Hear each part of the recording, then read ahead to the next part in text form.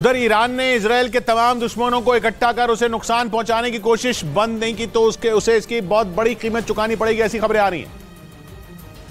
और ईरान के इस कदम का अंजाम ये भी हो सकता है कि इसराइल उसे पूरी तरह तबाह कर दे। इसराइल के मिलिट्री चीफ ने आरोप लगाया कि ईरान जानबूझकर उन देशों और संगठनों की मदद कर रहा है जो इसराइल के खिलाफ है। साथ ही उन्होंने ये दावा भी किया कि इसराइल ईरान को इसकी सजा ज़रूर देगा। जिसके लिए उसने सीरिया में मौजूद ईरान के ठिकानों आरोप बम बरसाने भी शुरू कर दिए। इसराइल का दावा है की ईरान उसके देश में बड़े आतंकी हमले की फिराक में है लेकिन वो किसी भी कीमत आरोप ईरान की इस प्लानिंग को सफल होने नहीं देगा।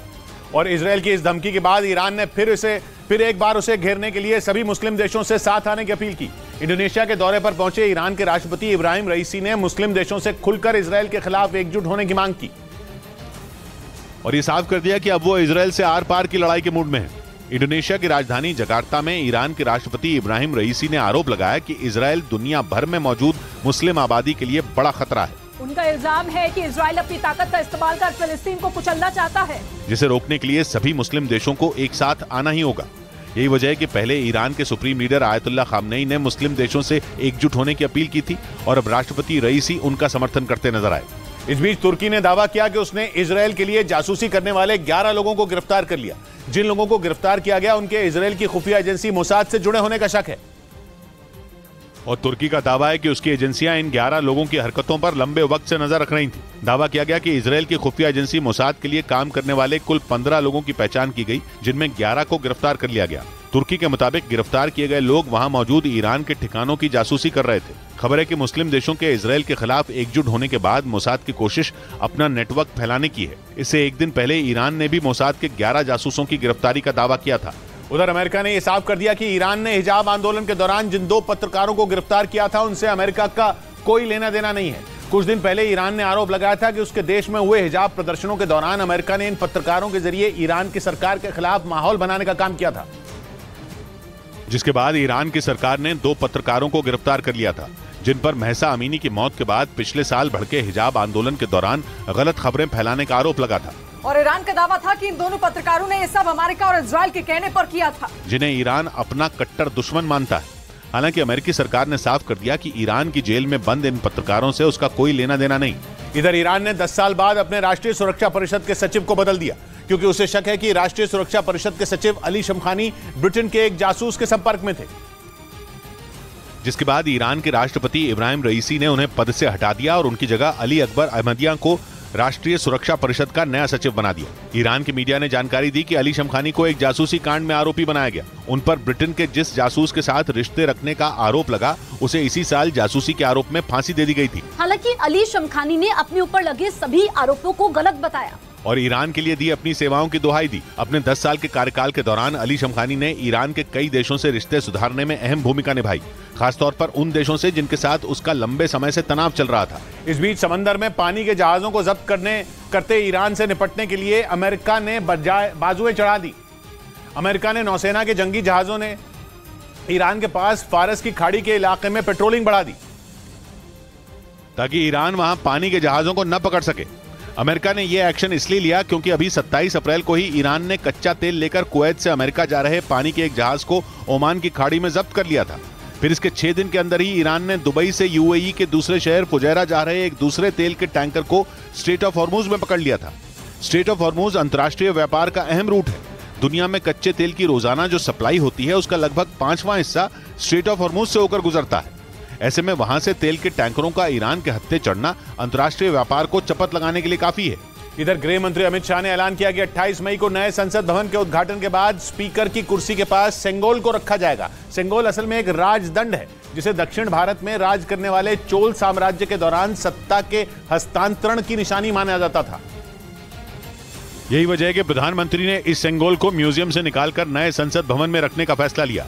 जब भारत को ब्रिटिश साम्राज्य से आज़ादी मिली थी, तब ये सेंगोल तमिलनाडु के तंजौर ज़िले में मौजूद तिरुवदुतुरई अधिनम नाम के शैव मठ ने भारत के पहले प्रधानमंत्री जवाहरलाल नेहरू को सौंपा था। सेंगोल असल में एक राजदंड है, जो दक्षिण भारत में राज करने वाले चोल साम्राज्य के दौरान सत्ता के हस्तांतरण की निशानी माना जाता था और चोल साम्राज्य का हर राजा आने वाले राजा को गद्दी संभालने से पहले ये सेंगोल देता था। यही वजह है कि भारत सरकार ने इसे नए संसद भवन में स्पीकर की कुर्सी के पास रखने का फैसला लिया।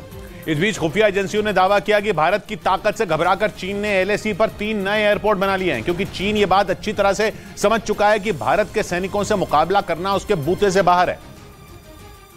और इसी वजह से वो एलएसी पर अपनी ताकत बढ़ाने में जुटा है। खुफिया रिपोर्ट में दावा किया गया कि चीन भारत की सीमा के पास तीन नए एयरपोर्ट बना चुका है। रिपोर्ट के मुताबिक चीन ने अरुणाचल प्रदेश की सीमा से 45 किलोमीटर दूर तिब्बत की लोंगजी काउंटी में एक एयरपोर्ट बनाया है जो जनवरी में शुरू हो चुका है, जबकि दूसरा एयरपोर्ट सिक्किम की सीमा से साठ किलोमीटर दूर टिंगरी काउंटी में। इसी तरह चीन उत्तराखंड के पिथौरागढ़ की सीमा के पास तिब्बत की बरांग काउंटी में भी एक एयरपोर्ट बना रहा है। इसके अलावा चीन छोटे एयरबेस को भी बड़े एयरपोर्ट में बदल रहा है, ताकि वहाँ वो अपने लड़ाकू विमान तैनात कर सके।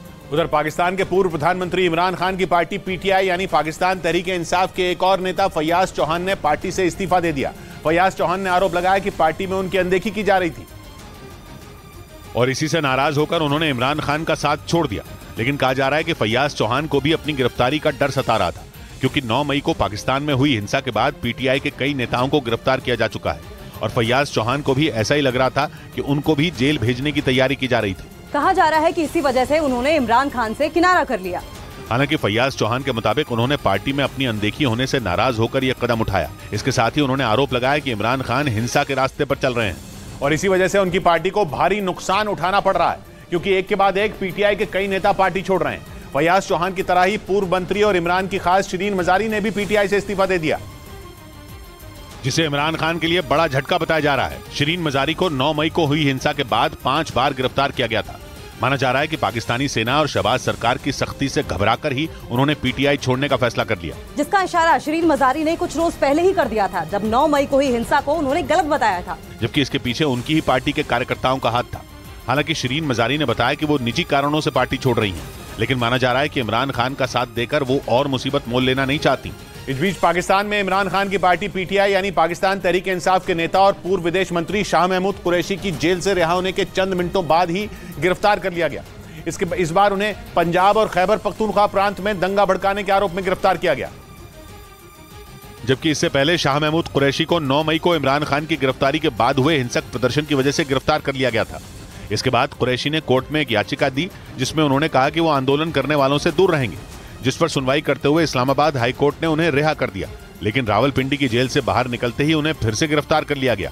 इस दौरान उन्होंने ऐलान किया कि वो किसी भी कीमत पर इमरान खान का साथ नहीं छोड़ेंगे। मैं पार्टी में था हूँ और इंशाल्लाह रहूँगा। जेल के बाहर से गिरफ़्तार करने के बाद शाह महमूद कुरैशी को पुलिस किसी अनजान जगह पर ले गई। मतलब पाकिस्तान की सरकार इमरान खान के पीछे हाथ धोकर पड़ी है। यही नहीं शहबाज शरीफ सरकार ने इमरान खान के खिलाफ ऑपरेशन बैकबोन शुरू किया जिसके तहत इमरान के करीबियों को उनका साथ छोड़ने के लिए डराया जा रहा है। इसका पता तब चला जब तीन दिन पहले बलूचिस्तान में जमाते इस्लामी के अमीर सिराज उल हक पर हुए आत्मघाती हमले का वीडियो सामने आया। जिसे देखने के बाद यह साफ़ हो गया कि आत्मघाती हमले का मकसद उन्हें मारना नहीं, बल्कि डराना था, ताकि जमाते इस्लामी के अमीर सिराजुल हक इमरान खान का साथ छोड़ दें। जो वीडियो सामने आया, उसमें सिराजुल हक का काफिला बलूचिस्तान प्रांत की एक सड़क पर खड़ा दिखाई दिया। तभी वहाँ एक धमाका हुआ। लोगों की भीड़ हटी तो सड़क पर आत्मघाती हमलावर तड़पता नज़र आया। आरोप है कि इस हमले के बाद पाकिस्तान सरकार ने झूठ फैलाया कि हमला आतंकियों ने किया था। जिनका मकसद सिराजुल हक को नुकसान पहुंचाना था। लेकिन इस वीडियो के सामने आने के बाद पाकिस्तान सरकार की पोल खुल गई। इस बीच पाकिस्तान के लाहौर में इमरान खान की कट्टर समर्थक और पूर्व सेना प्रमुख की पोती खदीजा शाह को गिरफ़्तार कर लिया गया।